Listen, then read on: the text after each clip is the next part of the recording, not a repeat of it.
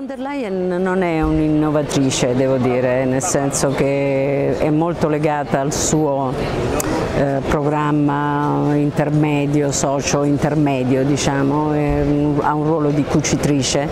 È vero che è cresciuta, come dicevo, quest'anno la lista delle richieste, in particolare sul verde, e sarà interessante capire la transizione, se la sblocca o se rimane molto cauta su questo.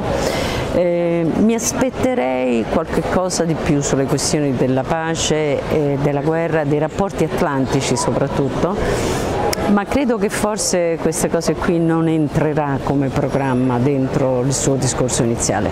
Ma io avrò tutto sommato quello che volevo venendo qui perché è la mia unica specialità, eh, mi occuperò di politica estera, sono il delegato del PD nella Commissione Esteri,